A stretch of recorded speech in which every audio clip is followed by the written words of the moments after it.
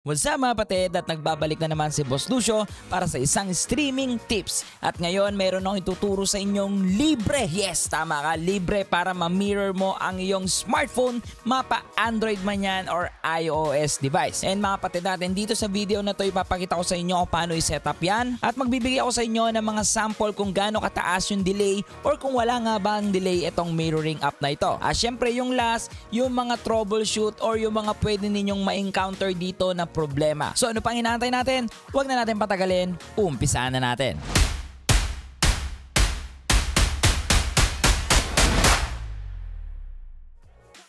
And speaking of streaming, naghahanap ka ba ng mga animated overlays or ng mga webcam overlays or sabihin na natin mga high quality panels para sa iyong mga streaming layout? Dahil saktong-sakto ka, dahil meron tayong sponsor, ito ang Own.tv. Own.tv is one-stop shop mall para sa lahat ng mga content creators. So nandito na lahat sa Own.tv. Simple lang, from the search box, search mo lang ang overlay, madadirect ka na sa window na to. Sobrang dami mong pwedeng pagpilian ng mga template para sa iyong streaming layout. Once na nakapili ka na, may option ka na package and na single.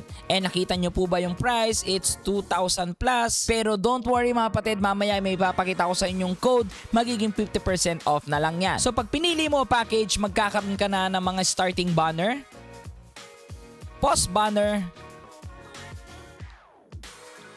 webcam overlays, nandyan na rin ang mga pang green screen, at ang iba't iba pang mga overlays nandito lahat. Ang lahat ng yan, it's all animated and copyright free kaya hindi ka magkakaroon ng violation sa paggamit sa mga overlays na to. And speaking of again mga patid natin ng discount, meron tayong discount code dyan na word na Lucio mga patid. Pag ginamit nyo yan, automatic 50% off ka na. So simple lang mga patid natin, lalabas ang link dyan sa ating screen or nasa description box www.own.gg slash boss underscore Lucio. So mga patid natin, gamitin nyo yung link na yan guys para maka-discount kayo at ang lahat na nakikita nyo sa aking stream kaya animated at super quality at unique, yan ay galing sa Onda.tv. So yun na nga mga patid natin, balik na tayo sa ating topic. So itong topic natin mga patid natin, again, it's a screen mirroring na libre. Yes, libre lang. Pwede ito sa Android and mga iOS device. So first mga patid natin, kailangan nyo munang i-download yung software. Ito ang Let's View. So dito mga patid natin, punta lang kayo sa any browser, type nyo lang po yung Let's View or lalagay ko na lang po din sa description box.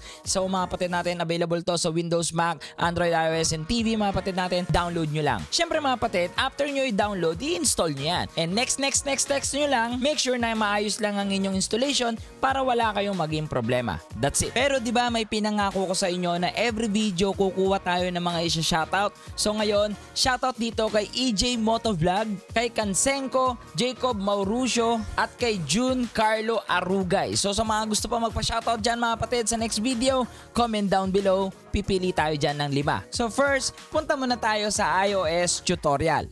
So once na na-install nyo na, so ayusin lang muna natin yung settings ng ating Let's View app. So from here mga kapatid, makikita nyo po yung Wi-Fi connection na gamit natin dito. So yan mga kapatid natin yung pangalan ng aking router. So mga kapatid natin dito sa tutorial na to, make sure na same ang kanilang internet connection. Sa lahat naman ng mga mirroring app, yan naman talaga ang pinaka number one requirement. So from the upper part mga kapatid, click nyo lang po ito, punta tayo sa settings at lalabas itong window na ito. So dito mga kapatid, makikita nyo po yung AirPlay resolution resolution, meron tayong iba't ibang mga choices dito, the 720p, the 1080p, and yung mga common pa na iPhone 6s mga patid or any phone.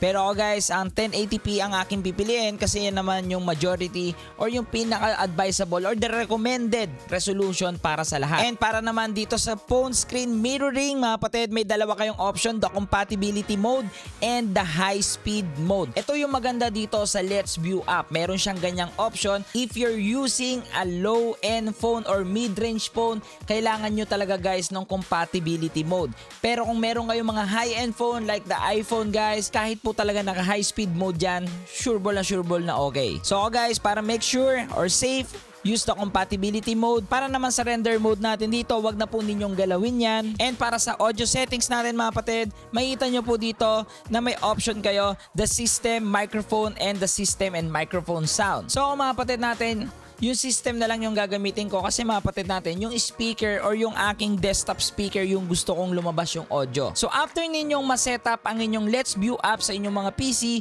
umpisahan natin dito sa mga naka-iOS device. So first mga kapatid, kailangan nyo pong i-download yung app na Let's View. So punta tayo sa ating App Store. So search lang natin yung Let's View. So yan mga kapatid, screen mirroring Let's View.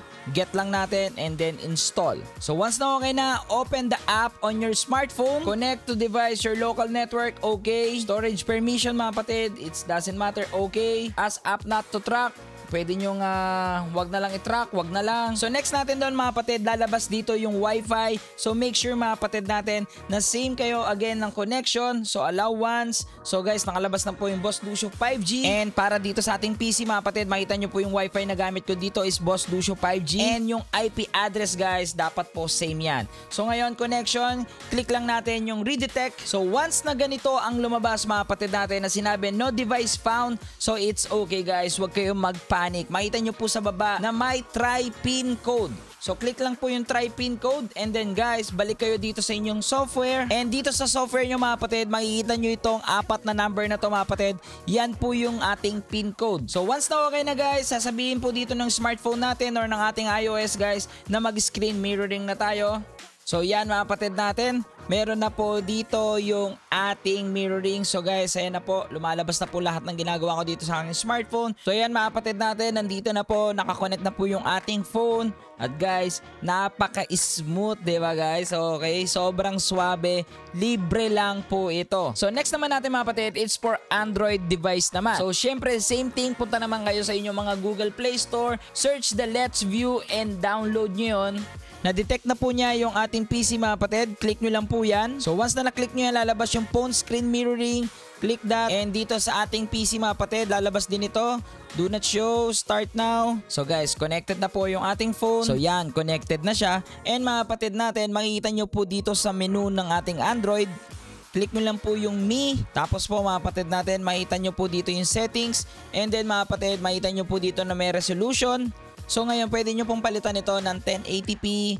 Pwede nyo pong palitan yung mirroring quality guys ng HD, Ultra HD, or Super Ultra HD mga patid natin. And mirroring mode, meron siyang quality priority, fluency priority guys, and high quality. Ako guys, pipiliin ko quality priority mga patid. Aanhin mo naman yung sobrang linaw kung naglalag naman. Eh doon na lang tayo sa quality priority para kahit papano kung hindi man ganun kalinaw yung mirroring, ang, importante ay hindi naman naglalag. So if you're using a low-end phone mga patid, yan ang piliin ninyo ha. And mga patid natin dito, meron kayong makitang CAS microphone audio. So guys, on nyo po yan para just in case na magkaroon kayo ng problema mga patid natin na walang audio ang inyong mga smartphone o ang inyong mga game, eh guys, yun lang talaga ang tanging paraan. Pero ang downside, pati po yung boses ninyo maririnig kasi guys, yung microphone audio mismo mga patid natin ng inyong smartphone ng, or ng inyong Android, yan po yung maririnig mismo doon sa live stream. So ngayon, paano siya ilalagay sa OBS Studio? Napakadali lang mga patid, syempre mag-open tayo ng OBS. So from your OBS mga patid natin, gawa lang kayo ng scene and from your source,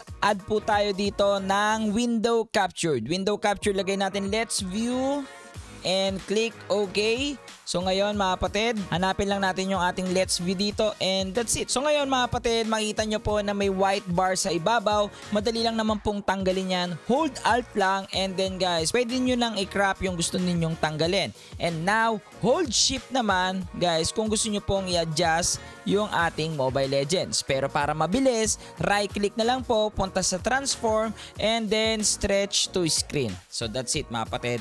So pasok na pasok na yan sa ating uh, screen and that's it. So dahil free ito, meron itong mga downside, meron itong mga problema. Pero guys, syempre nandito si Boss Lucio, ituturo ko na rin sa inyo yan.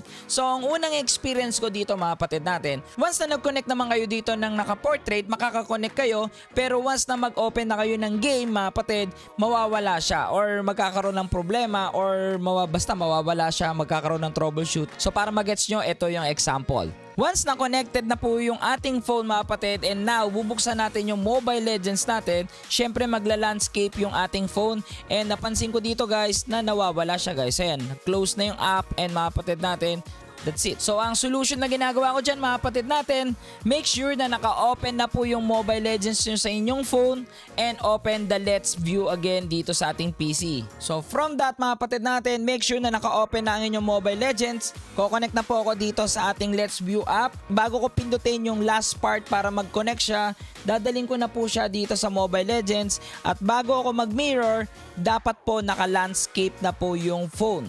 So now mga kapatid natin, naka-landscape na yung phone natin. So ngayon, mas okay na guys at wala nang problema. And syempre mga kapatid natin, again and again and again, isa ito sa mga problema pagdating sa mirroring audio ng Android phone. So mga kapatid natin, that's why I always recommended pag ikaw ay mobile legend streamer or mobile game streamer, use iPhone kasi ang iPhone mga kapatid compatible siya sa lahat ng mga streaming software. That's why sa iPhone Let's View wala pong option na mga iba't ibang mga resolution, audio settings guys, wala. Automatic na siya mga kapatid natin. That's it.